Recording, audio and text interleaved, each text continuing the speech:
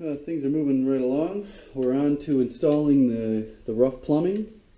Um, this mixer valve here, um, is kind of standard. They're all about the same. Uh, one is up, going to the shower. One goes down to a tub spout, but we don't have a tub, so we have to cap this off.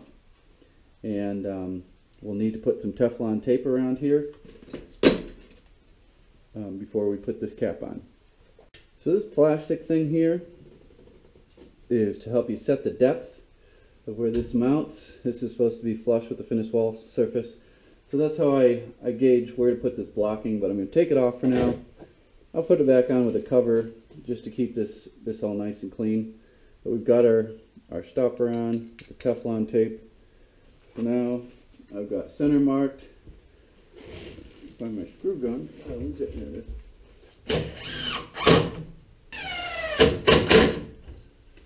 So what I'm doing just feeding the PEX back behind the wall here. And um, I'm going to be connecting it up to that rough plumbing. And I'll be connecting it right here too.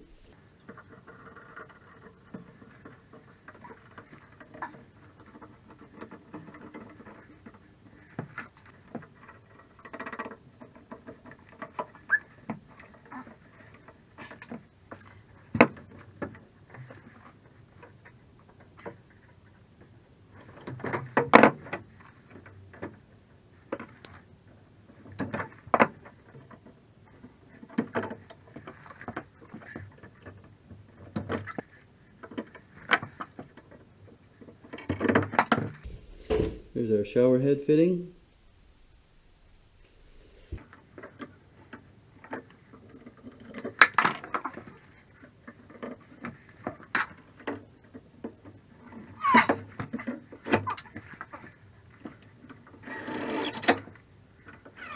So what do you think of the project so far? I'm really not sure how I'm going to edit all this together. I've been hopping around all over the place. And the reason I do that is um, I always go after the unknowns or the hardest part or things where I'm not sure how it's going to go.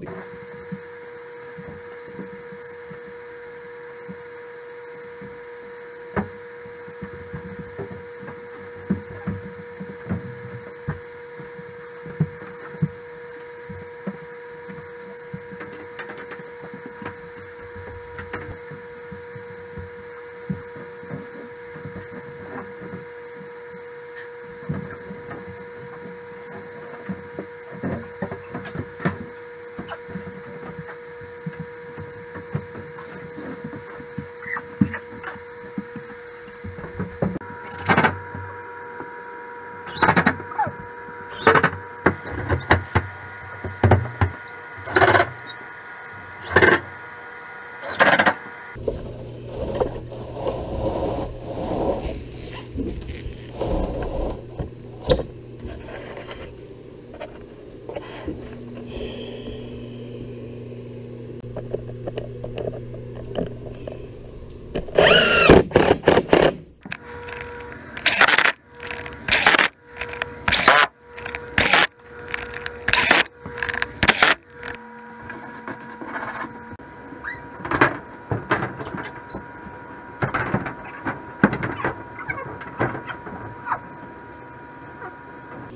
time to pour the shower base. You can see I got my bucket set up, my mortar. This is my quick pitch. This is the product that I'm using to make the mortar bed. It's got sand and Portland cement in it. It can actually be poured up to three inches thick.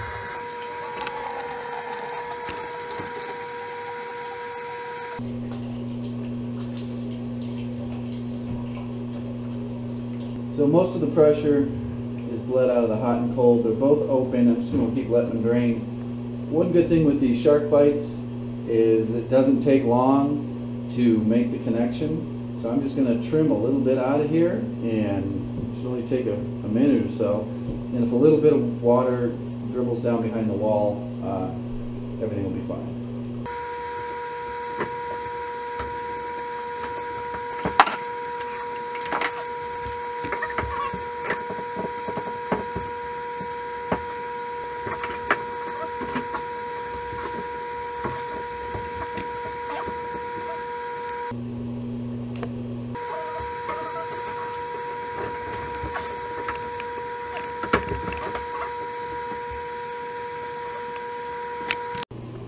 I took our ring off and I think this is in the off position.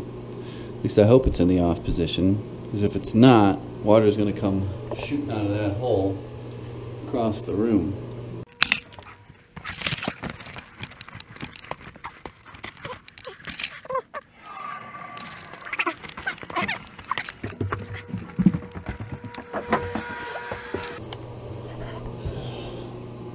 All right, it's off. That's good.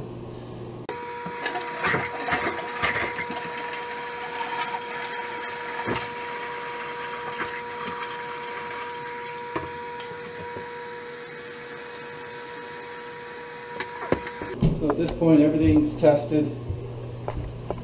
No leaks. The hot and cold water. And it's time to start tiling.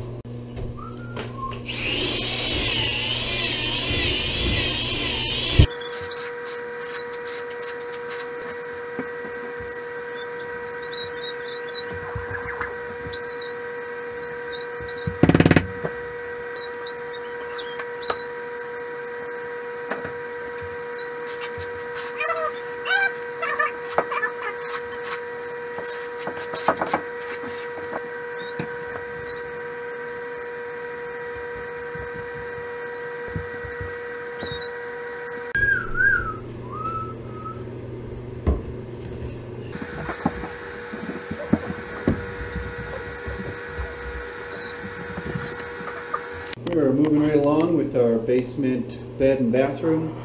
Uh, the part that I'm working on today is I need to patch all the drywall.